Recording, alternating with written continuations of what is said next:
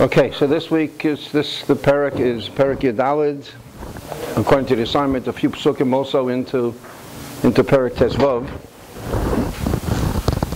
The story begins with Yeravam ben Nevat's son Avia is taken ill, and um, Avia sends his wife to go incognito to the Navi Achia Hashiloni. Um, and uh, he uh, don't let him know you're the queen. Of course, it's not a very smart thing to do to try to fake out a navi like that. And even though Achia Shloni is blind, he hears her footsteps and he says, "Mrs. Ziravam, come in." And uh, he does not have a good besora to tell her. He tells her that uh, basically her husband is a dirty rat and um, and the, therefore he and his family they will not see kavura. Their bodies will not come to be to to, to be nikra, come not not come to kavura, and um, besides everything else, because Yeravam was a chote umachti, not only did he sin, but he caused others to sin. Therefore, the future exile of the Aser Sashvatim. We're prophesizing something that's going to happen hundreds of years later. The future exile of the Aser Sashvatim is, going, is on his shoulders, is because of him. This is what Acha Shalini tells him. But he says, Your son that you're coming to ask about is going to die. But the good news is that he will be buried properly. The, the, the Gezerah, the Klala, that uh, the family of Yeravam will not come to Kavura, um, will um, not be Mukayim in him because he had a Dover Tov.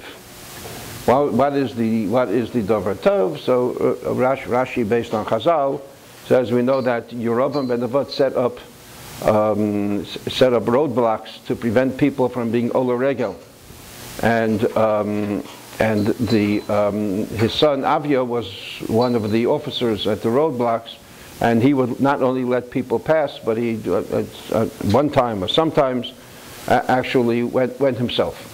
So he didn't stop people from Migol Regel. That is the, that was the Dover Tov that he had. Even though he will die, uh, he will be, um, um, he'll be zeicher, he'll be zeicher to to kavura. Did you know that his son did that? I don't know. I don't know. Um, I would have to guess no, but uh, I mean, even the Navi doesn't tell her what it was. Davar Tov. Maybe he didn't want to tell her. Limsabo Davar Tov. And then we go back to Rechavam, to the Melech Yehuda. Navi always goes back and forth from the Yisrael, the ten tribes, to back to Rechavam.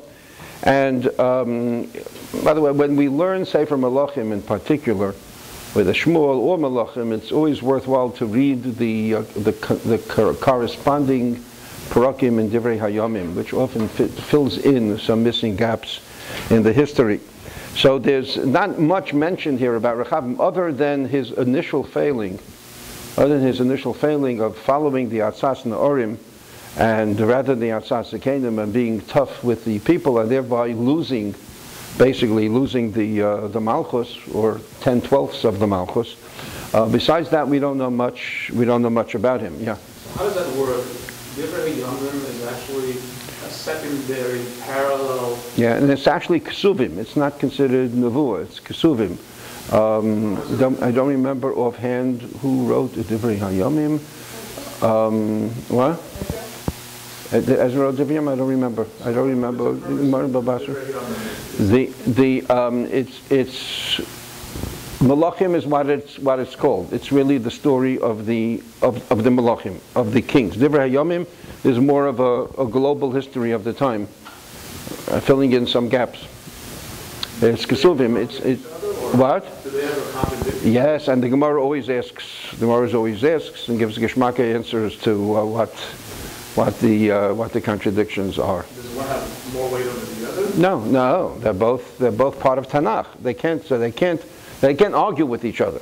So it's it's that they. Um, so if, the, if we find a contradiction, that means that each one is telling us a different point, a different aspect, and that, ha- and that has to be resolved. The, um, so in, in Divrei Hayomim, we're presented with a little bit of a different picture of Rechavam. although at first we presented with somebody who is somewhat of a weak, of a weak king, um, here it, it, begins that he actually um, builds tremendous fortifications and, and, and walled cities and armed cities, and he stockpiles in the cities armaments, stockpiles food. Um, he's really, uh, you know, the, the defensive king um, which is not going to do him much good, but that's what he's doing the first three years. And it says that the first three years of his, of his reign, he went b'derech David Aviv. He went in the path of David HaMelech. But after all the success and all of the uh, build-up of the military and the build-up of the, of, of, the, of the economy, it, it says Derech David Aviv. That's the Lashon, his ancestor David. You find, we'll find out a lot in Sefer Melachim the, um, the, um, they, they start to slip. Says Rechavam starts to slip, and the people start to slip, and they're not going B'derech HaTorah, and that's when Hashem, Hashem sent up to them Shishak Melech Mitzrayim. The Shishak Melech Mitzrayim invaded, invaded um, Malchus Yehuda, and um, he ba basically pillaged pillaged a lot of the treasuries that, um, that Rechavam had accumulated, including Otzros Yerushalayim, and including, there's a chazal, a very long chazal about this, including the famous throne of Shlomo HaMelech, the ivory throne of Shlomo HaMelech, uh, which had a lot of, a lot of golios, a lot of tiltulim. Shishak took it down to, to, um, to, uh, to Mitzrayim. But um, when it says when Shishak invaded, so here we go, the hot cold of the era of Rechavam. The Divrei Yom says, Vayikonu, that the people were humbled, were humbled by this, and they cried out to Hashem. There's the prosperity. This sounds like a typical Vayishman Yeshurun Vayivot, that Yeshurun got fat and rebelled, and very often prosperity is at least as is, is uh, at least as big a nisayan as poverty and um, they they went they, they, they went off the path when they had um, when they had all of this all of this prosperity. But then when the Shishak came, that sobered them up, and they were humbled.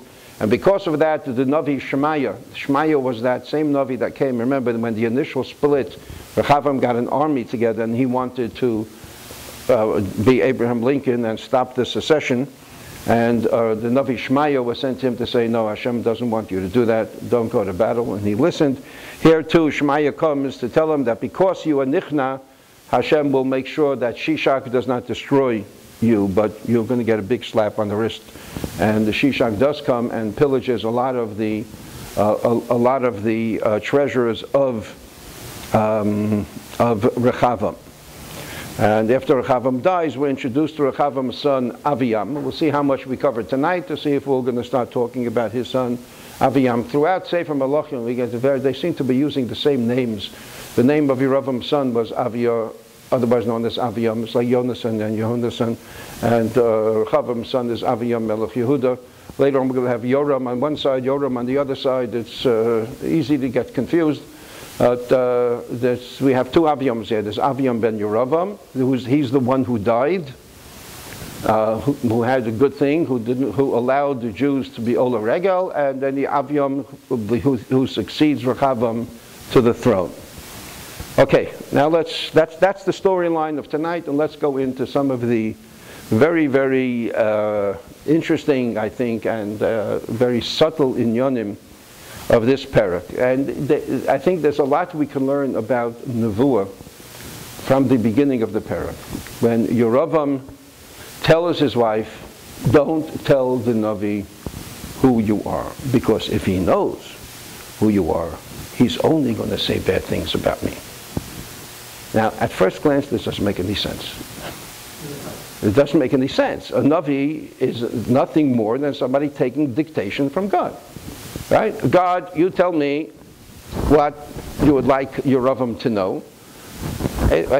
So if I don't like him, I'm going to say a bad nevuah, and if I do like him, I'm going to say a good nevuah. At first glance, it doesn't make any sense, but that's what the pasuk says. The pasuk says that don't tell him who you are, because if you tell him who you are, I know he's never said anything good about me. So, what, what does this mean? So if you look at the Radak, if you look at the Radak, the Radak says two important things about, about Nevuah. Remember, I said we're not going to do too much in the text, but the. Um,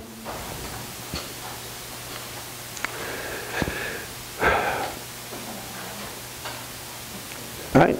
The, the, the, the Radak says because he knew that Achia hated him, he hated him because Yeravam went off the derech. Now remember, Yeravam was Achia's protege. Achia, we, we first introduced to them, Achia and Yeravam ben Nevat are the two Gedolei Hador, talking and learning on such a high level of learning of Torah, nobody else could understand them. And Achia Shiloni is the one who, who is the Navi who, who anoints Yeravam ben Nevat to be the Melech of Yisrael. And boy, was Achia disappointed with his protege, Yeravam. He had every reason to hate him, and Yerovam knew that Achia hated him. So the Radak says that, uh, you know, he's, uh, he, he, since Achia hated him, so he's only going to say bad things to me, about me. Okay? The next thing that he says is that Yerovam, and the two things I, I think I'll show you are connected.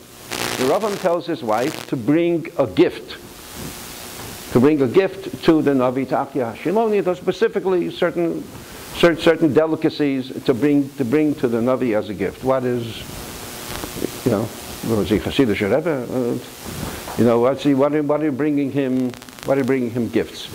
So the, um, the Radak says it was the derech, that when you went to a Navi, you brought him a, a gift. Now the first time we encountered this in Navi is by Shaul.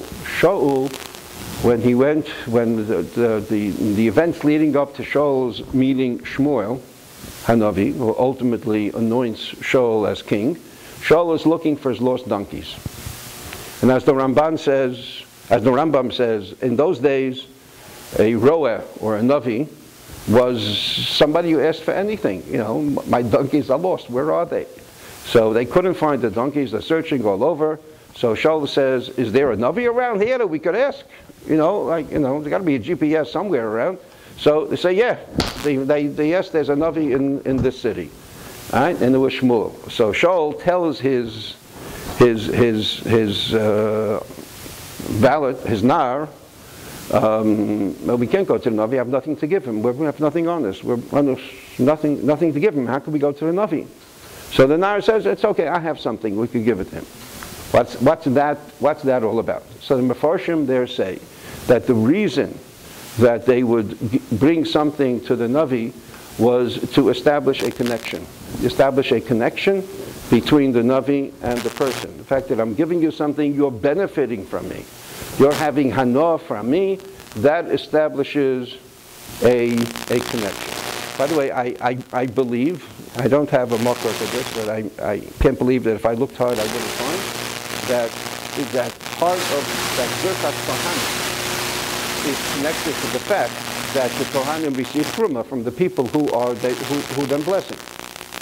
Right, there's already a connection because Kohanim are being supported by the people that they are giving the brachas to. That, that, that established a connection. The fact that I'm benefiting you, that establishes a connection and enables you to hook into HaKadosh Baruch Hu to get to answer the request that I am asking of you. And that's the same thing over here. The Radak cross references to the to the case of of of of, um, of Shaul and and Shmuel. One can also say, and we're going to talk a lot more about this, that that's why Yitzchak Avinu wanted Esav to bring him the matamim, asay li matamim, right? To bring him to bring him the special delicacies because Yitzchak wasn't giving him a bracha. Yitzchak needed to receive a nevuah of the bracha. Right? So the bracha wasn't just plain bracha. You know, so sein gebench, Yivrecha Hashem b'yishmerecha, you know, Simcha Lukim. It was, it was nevuah to give over the, the, the legacy and the heritage of, of Klal Yisrael. He had to get a nevuah. As a matter of fact, the, the Rabbeinu Bechaye on the spot says a different twist, and I'm sure they're both emes, on Aseli Matamim, on that the reason Yitzchak wanted the food, he says, because the Gemara says that in order for a Navi to get Nevuah, he has to be Besimcha. So, for example, we're going to learn later that Elisha, at one point, Elisha is with with, with the army of both, at, at one point, the armies of Yehuda and of Yisrael had joined for forces. It was Yehoshaphat, who was a Melech Tzaddik, and Yehoram uh, was a Melech Rasha of this, and they were in dire straits. They were, they were going to, a, to fight with Moab, and there was no water, and they were going to die.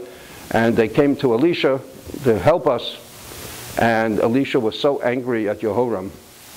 He, was, he, had, he felt anger towards Jehoram. He said, if not for Yehoshaphat, I wouldn't be helping you. And because he was angry, he couldn't get Nevuah.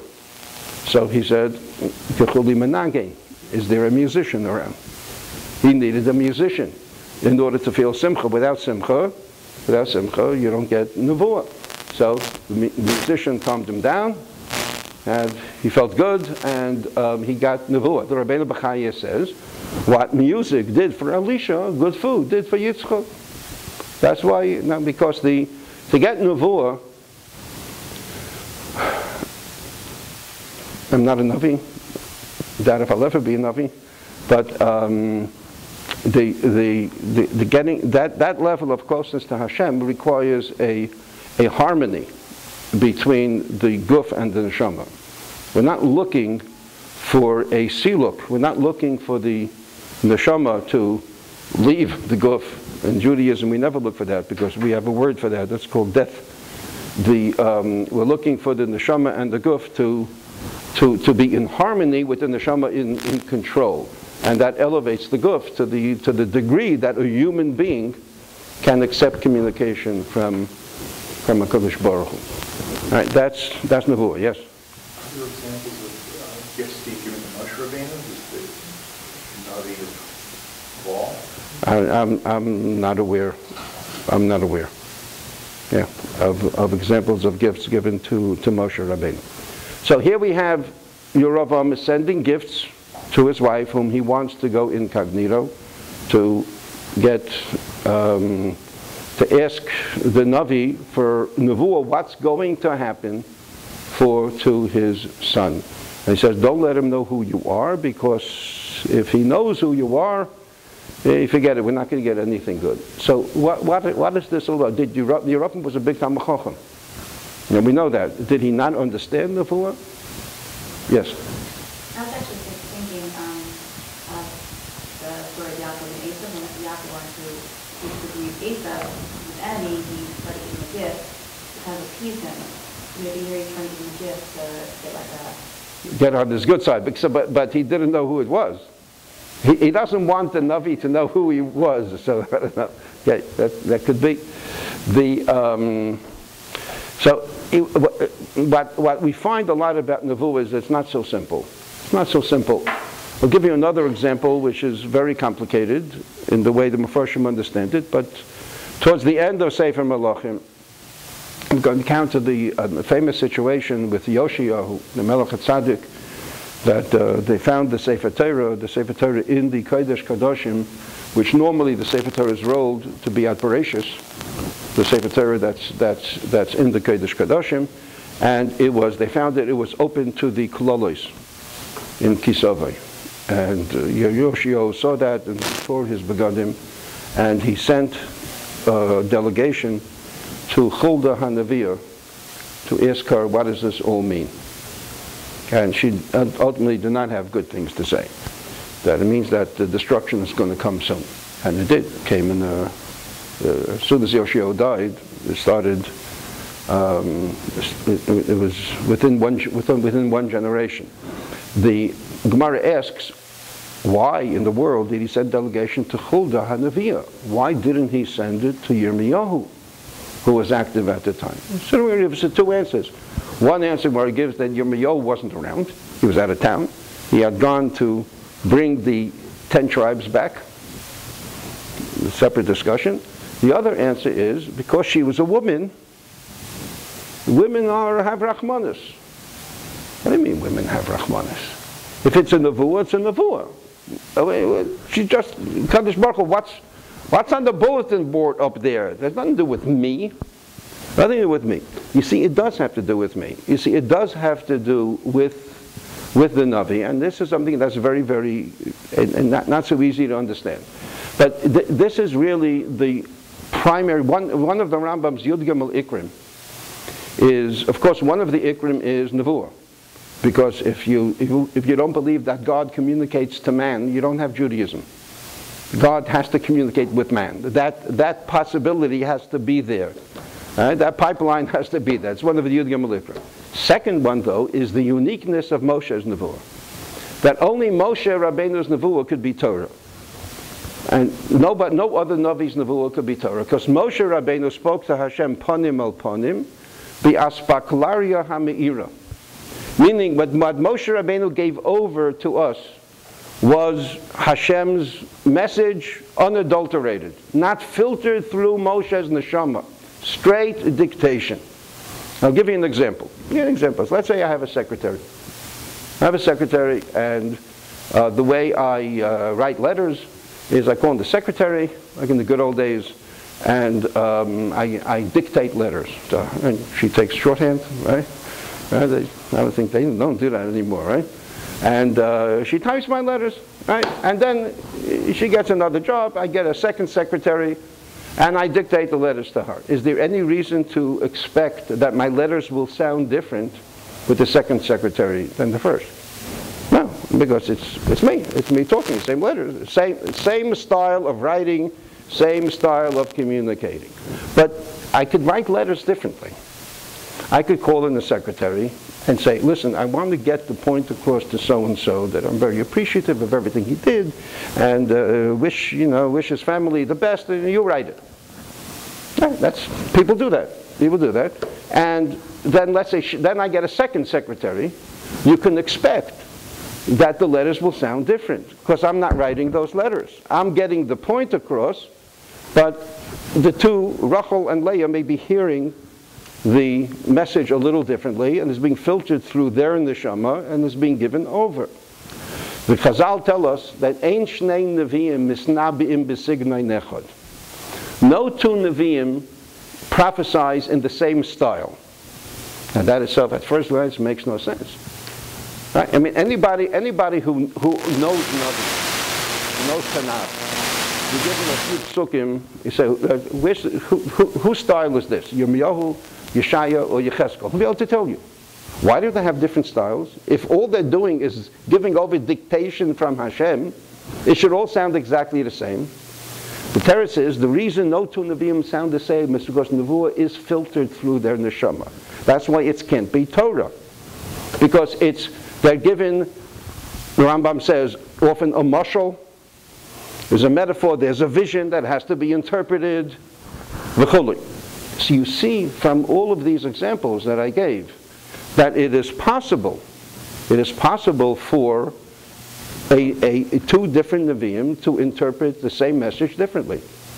And there is a possibility that a, an Achia Hashiloni could interpret the, the vision and the metaphor and the riddle and what HaKadosh Baruch Hu is saying differently for different people. If he has a sin, if he has a hatred and enmity towards somebody, Yeravam ben Nevat knew that it would be possible for him to interpret it differently, and that's why Yoshiyahu sent to Huldah Hanaviyah in that Gemara, because she's a woman and she's soft, and if, this, eh, if there was any possibility of interpreting the Nevuah in a kinder way, it would be through Huldah.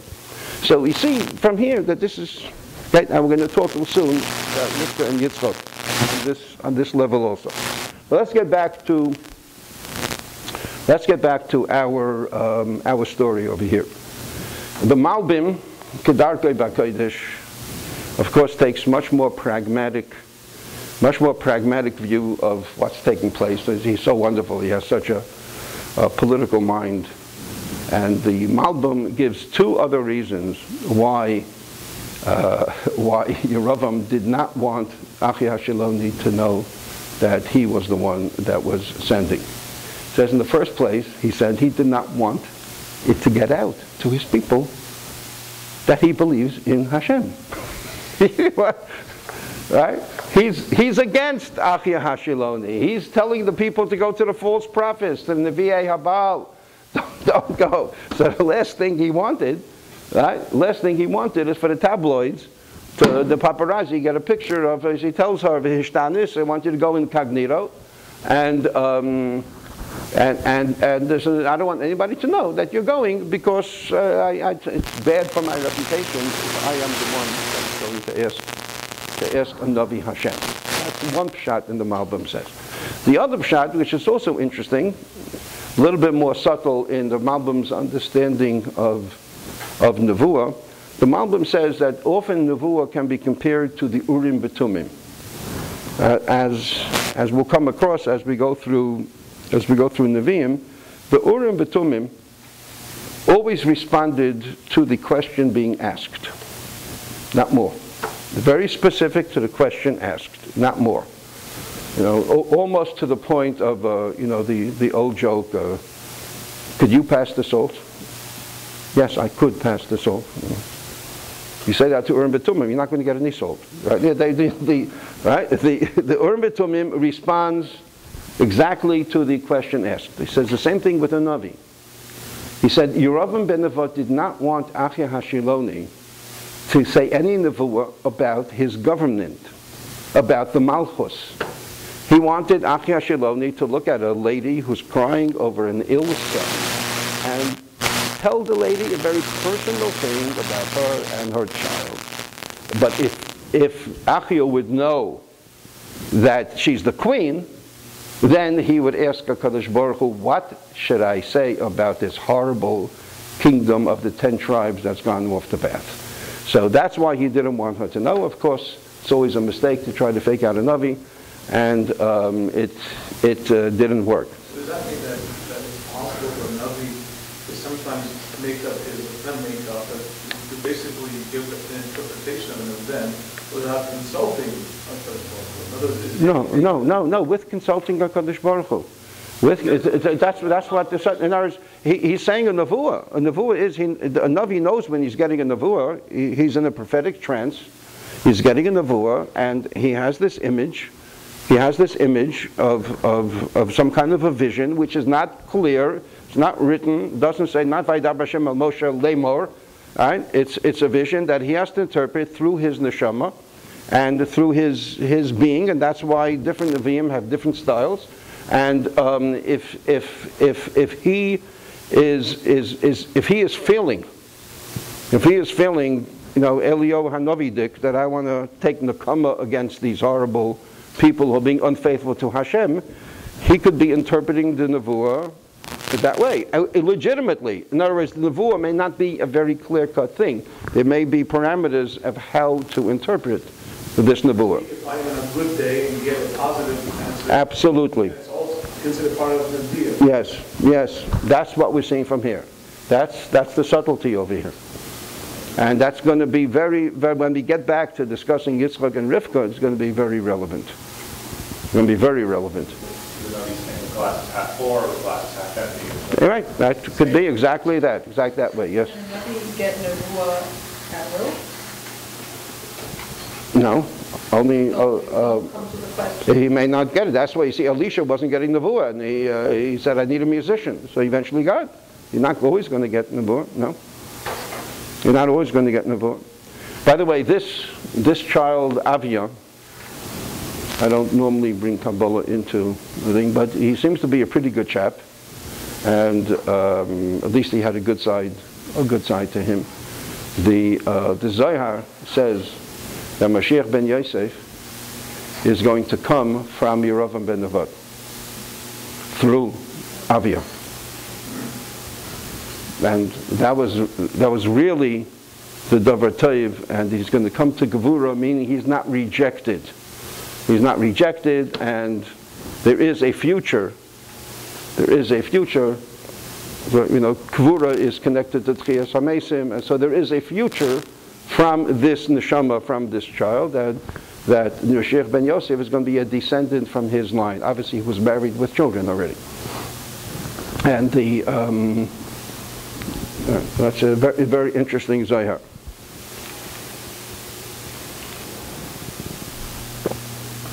Okay, let's talk a little bit about Yitzchak and Rivka. It's, it's, it's too much of an opportunity to uh, forego, and it's so so you say this, Dick, and it's relevant relevant over here. I'll try to be I'll try to be brief. the um, there, there are a lot of, in my opinion, misconceptions about what was going on between Yitzchak Avinu and Rivka Imenu. The Yitzchak, Yitzchak's um, acceptance of Esav was really the most logical thing that any father would do. Um, HaKadosh Baruch Hu told Avram Avinu that he's going to be the father of the nation. To be the father of the nation. And uh, Avram Avinu ended up, at least in the beginning, with two children, Yishmael and Yitzchak. It never occurred to him in his wildest dreams that, that the nation he's building is not going to come from both of them. I mean, if I'm the father of the nation, you know, both children. you know, you don't have, um, not going to have a very big nation if every generation chooses which one is going to be the Jew, right? So, um, but it wasn't to be, and HaKadosh Baruch Hu, through Sarah, told Avram that Yishmael was to be rejected. When HaKadosh Baruch Hu told Avram that all of his children are not going to be part of Klal Yisrael, but he really was telling him, your child is not a child, your child is another generation Av. Your child, we need a second generation patriarch because Av, only one in the family. Children, there could be many. I mean, second generation Av. Yitzchak Avinu. I'm the Av, and my children are going to be the children. Why should I think differently? Especially, okay, uh, my, my father rejected my half-brother Yishmael. He was the son of a Shifcha, son of a Pilegesh. He wasn't the son of a Keres Abayis. I only have one wife. I'm a Kodesh Kadoshim. Wife Rivka, the same womb, same birth, Esav and Yaakov. So Yitzchak, there's no question that he sees these two children. Yitzchak is a very smart man, is a very astute man, and uh, the um, he, he, knows that you can't build a Klal Yisrael without Yaakov, without the Ishtam Yoshev Aholim, without the special spirituality that Yaakov is going to bring to this nation. From whence is going to come a, a tribe like Levi, and doing the Avodah in the Beis Hamikdash, a tribe like Yisachar, who are going to be the uh, Yodevina and the uh, the Dayanim, the judges and, and, and, and the teachers, so the whole spirit, spirituality necessary for the nation is going to come from Yaakov. But hey, you know, the nation needs businessmen. The nation needs sailors like Zebulun. The nation needs farmers like Osher. The nation needs warriors like Dan. The nation needs executive leaders like Yehuda. So that's not coming from Yaakov. And ain't him. It's clearly coming from Yitzchak. Now, Yitzchak has problems. I see that uh, oh, excuse me, from Esav. Thank you. Esav clearly has problems, but I'm his father Yitzchak, and I'm going to be mechanichim.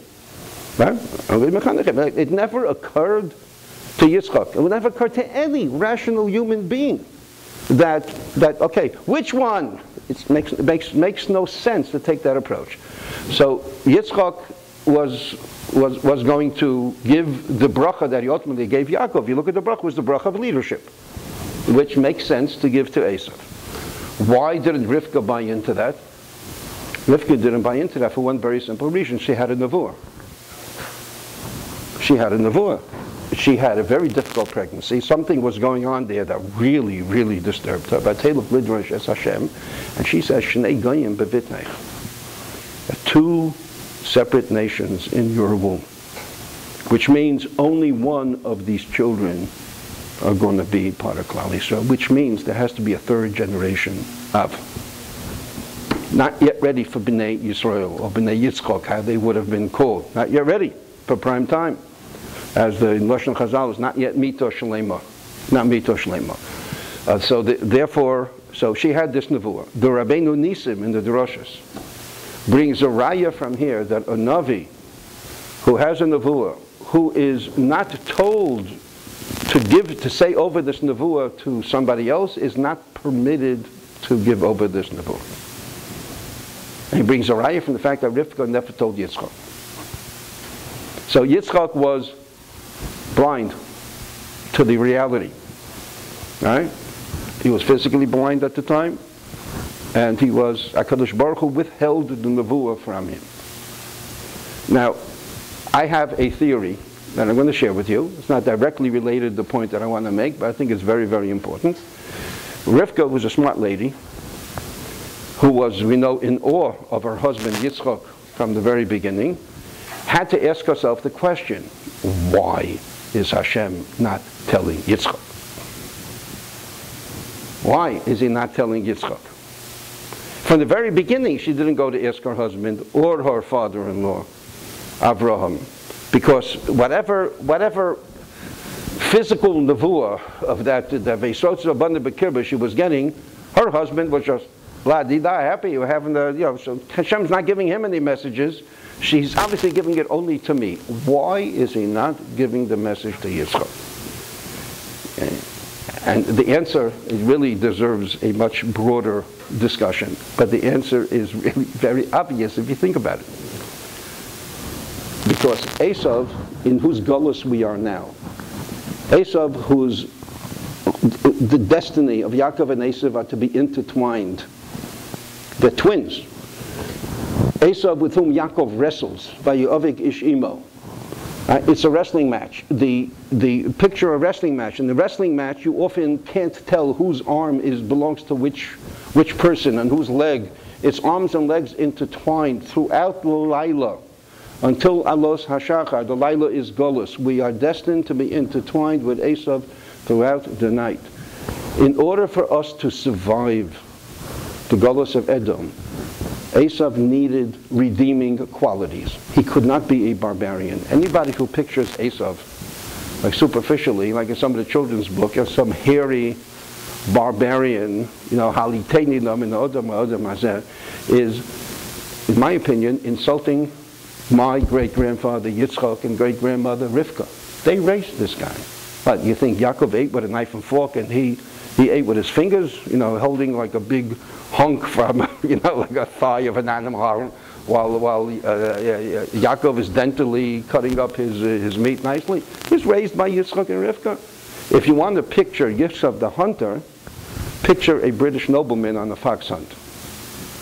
That's the way you have to picture Yitzchak, because, um, Esav, because he was brought up in the house of Yitzchak and Rivka. And Hashem gives Rivka a nevuah.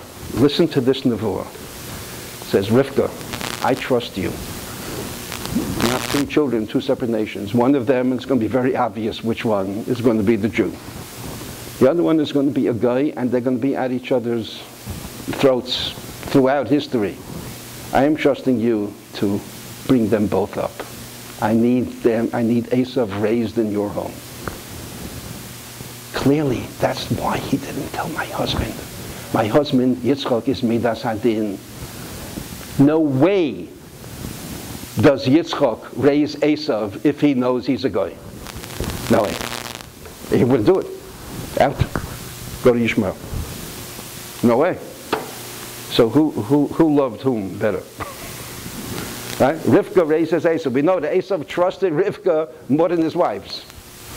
Right? trusted Rivka more than his wives.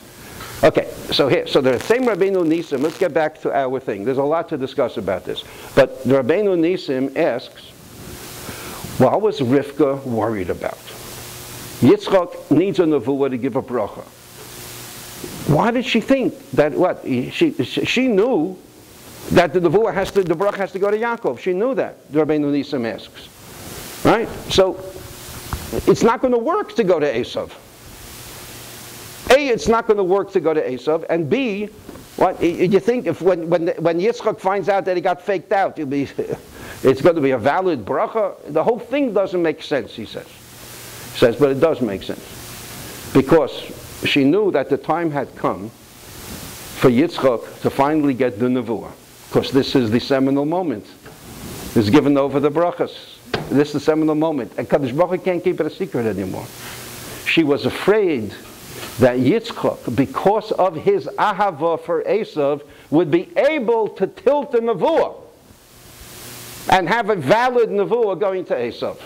The Rebbeinu said, "But koach tefilosai," and with the strength of his ahava for Esav, he would somehow make it that Esav could remain part of Klal Yisrael. And Rivka knew, no way, we can't build a nation with Esav because the, it, it, would have been theoretically feasible. You say, the whole story doesn't make sense unless you believe that there was a possibility that Yitzchok would get a nevuah to give the bracha to Esav. Otherwise, what's the whole charade? Makes no sense if that was never going to happen. It was a possibility to happen because he was a Navi and he had a connection to Esav. Esav always fed him, gave him the food that he liked, and Esav was exquisite in Kibbud Avim, and Yitzchak you know, the, the, as we say, the, the, the squeaky wheel gets the oil. Esav was the one who got, got in trouble. You know, was always getting the, the Rebbe is always calling, calling, calling him. This kid's a, this kid's a troublemaker. He's the father. Yitzchak put all of his keiches into Esav. Rivka was afraid that Yitzchak would be able to tilt the nevuah through his nefesh for the sake of, of Esav. That's why she made that charade, that Yaakov should be there and the nevuah should come, and it was a nevuah. Because it was a nevuah, then Yitzchak knew Gam Baruch Yehiyeh. I mean, this is not Stam, faked him out. I got the nevuah with this I called Kol Yaakov Ayadayim Day Esav in front of me, and being a smart man, he finally got the vision. He finally understood what was going on over there. Okay, so Nevuah is not a simple thing. Bez Hashem, we hope we'll be Zeicha to be living at a time when, uh, when we'll have Nevuah again. We'll be able to see some of these things firsthand. Okay, um, Yeravam Ben Nevat. If you look at the booklet, on page 46, for those of you who have a book, I'm sorry I didn't bring in for those, but it's okay, just a, a small quote from Pirkei Avos.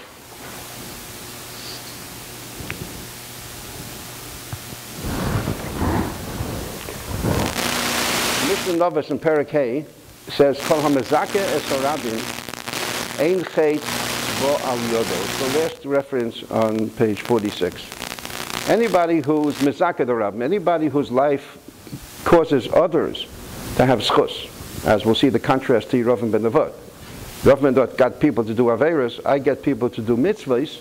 Such a person, HaKadosh Baruch will see to it, ein chet bo al yodo. He will, he will not sin. V'chol hamachti es harabim. But anybody who will cause the, the rabbim, the many to sin, ein maspikin biyodo lasos teshuva. They will, will ein maspikin biyodo, I'll translate this, we will not give him the opportunity to do tshuva. Moshe zocha viziko es harabim. Moshe obviously was mizaka the rabbim, so he brings on the pasuk that shows that tzidkas Hashem Osam Mishpatav Yisrael, everything that the Jews did was attributed to Moshe Rabbeinu's credit. Yeravam chata vehechti as The Yeravam sinned and caused the rabbim to sin. Chet harabim tolui bo. The sin of the of the rabbim of the community is hanging on his on his neck. And that quotes quotes a post quotes a pasuk al chata is Yeravam asher chata vasher hechti es Yisrael. From the, from the pasuk at the beginning of the next parak, a parak tezvot. So let's, let's see what this Mishnah says. The Mishnah says that kol hamachti es harabim ein maspikin biyodo lasos teshuva. They do not oh, give him the opportunity to do to do tshuva, like Ravim Benefot. The, question is how to understand this. I'd say this lashon ein maspikin biyodo lasos teshuva also appears in a different Mishnah. The Mishnah Masechta Yuma. Mishnah Masechta Yuma in the last parak says Omer echta v'yoshuv echta v'yoshuv. Ein maspikin biyado lasis tshuva. Somebody says, I'm going to sin and do tshuva. I know tshuva works. I'll sin and do tshuva. You know, listen. We know, I know my Rebbe taught me that even on a person's deathbed he could do tshuva. So, hey, this case with 11 Zechatog, you know, I'm going to, I'm going to live it up. And I'll do tshuva at the end. So, ein maspikin biyado lasis tshuva. We don't maspikin biyado lasis tshuva. Now, when I learned the Mishnah, I understood it the way. And I think it's a legitimate way to understand it. But I'm not sure it's the emes. What happens if a person does that?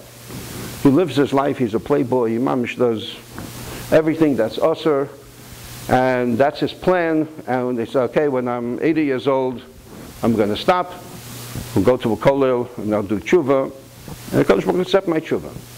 And let's say he turns 80, and his 80th birthday, that's his plan. He looks back at his life and he's sick to his stomach. He genuinely regrets what he did. How could I do that to my Creator? How could I spit in his face? How could I have done that? I'm, no, I'm nothing. I'm nobody. And he does such a, a, a heartfelt teshuvah, such a heartfelt teshuvah on, on, on, on what he did. What he did. So why shouldn't that be a valid teshuvah? He said, God, if you ever set me back down here again, I will never do that. Do that. He's really doing a full, full total teshuvah. Right? Why shouldn't it work? The Torah says it will work. It But it says, Ein maspikin biyodei laseis teshuva. Right? You, I, I won't give you the opportunity to do shuva. Uh, you'll die suddenly in a plane crash when you're 79 and a half years old, or something like that. Or you'll be sitting, you'll be sitting in the shiur, and the and and and the, the rav is about to say something so inspiring, and it's going to hit your heart to really get you, and the Kadosh Baruch is going to make that your cell phone is going to buzz at that moment. Right? In other words, I could, Kadosh Baruch I could control the world. I'm not going to give you the opportunity to do tshuva. If you do tshuva, it will work, but I'm not going to give you the opportunity to do tshuva. It's not the way the Rambam understands it. The Rambam in the Shemona Prakim, the Rambam Shemona Prakim says, and he starts off talking about Paro, Kadosh Baruch hardening Paro's heart. And he says, I thought a, I thought a Kadosh Baruch does not interfere with a person's bechir. How could, a, how could a Kadosh Baruch interfere with a person's bechira? And most certainly, Kadosh Baruch Hu can punish anybody if he made them do it. How could he punish Paro for not letting the people go if he didn't let Paro let the people go? So Rambam says, of course, HaKadosh Baruch Hu never punishes somebody for, um, for something that he made them do. But Paro, because of all the evil, because of all the avodas perach, because of all the subjugation and the, and, the, the, and, and, and the throwing the children into the Nile, he did such horrendous, horrific evil that HaKadosh Baruch Hu had the right to interfere with his Bechira Chofshis and not let him do tshuva. He was punished for all the terrible Averis that led up to the point that this guy is so bad, I'm not letting him do tshuva. I am, this, yeah, I'm interfering with his Bechira Chofshis. I'm going to harden his heart so that he can't do tshuva. And the Rambam says the same thing by Yeravam ben Nevat. That if you, if you are responsible for all these people going off the derech, where you think I'm going to let you do tshuva, you're going to be in Gan Eden, all these people are in Gehenna. it ain't going to happen. What about Esav? Was predetermined?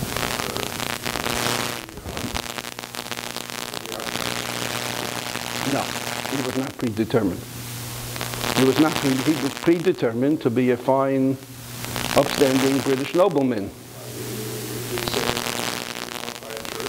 Uh, uh, yeah. Okay. So you have to know how to interpret these midrashim. Hakadosh Baruch Hu creates different people. With of all, some people creates as Jews, some people creates as goyim. That's a pretty strong predetermination, right?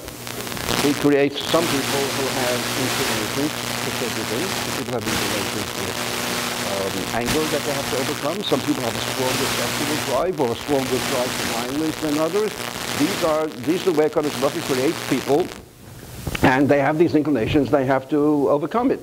Yaakov, Yaakov was born with a strong inclination towards spirituality, which he had to overcome and learn how to outwit an Esav and outwit a Lavan and go out of the Ohel and be a man of the world, take the Torah, he went against Yaakov, whose midah was emes, had to learn to go against his midah. Esav had a tendency, towards violence, the red. I'm sorry.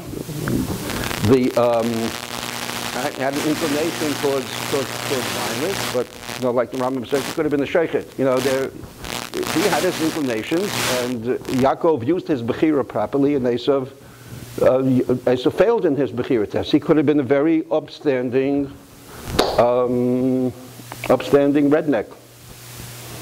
Right here, I don't know what it is. Um, so the, the, there is a possibility, the Rambam says, of HaKadosh Baruch Hu interfering in Bechira Chofshis to, with, to, to withhold our ability to, um, to withhold our ability to, um, to do tshuva. Okay, we'll hold over here. With Paro, that Hashem created a heart that could be hardened. And God Paro repeated things, he basically set something in motion.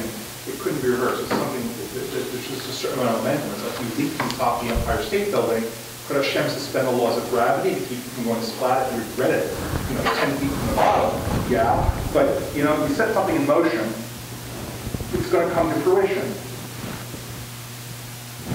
I, I, I- hear, I think what you're saying is emes, the question is the language of the Torah and of Vayichazik Hashem Eslev Paro. That would be the question. According to your interpretation, Right, right, and- jump off a building. yeah, like, you know- you know, yeah, no, but it's not Vayichazik Hashem. Like if a person becomes addictive, let's say to certain, people become addicted to crime, people become addicted to stealing, people, that- so that's, but that's not Vayichazik Hashem. That's what the way, that's what you're describing. That is a consequence of my action. If I'm doing such bad things time and time and time again, I can't stop. I don't think that's, I think what's bothering the Rishonim, the Rambam and the Ramban, is the language that Hashem hardened his heart. That's, that's, the, that's the thing. But your point is a very good point. A good Nacht.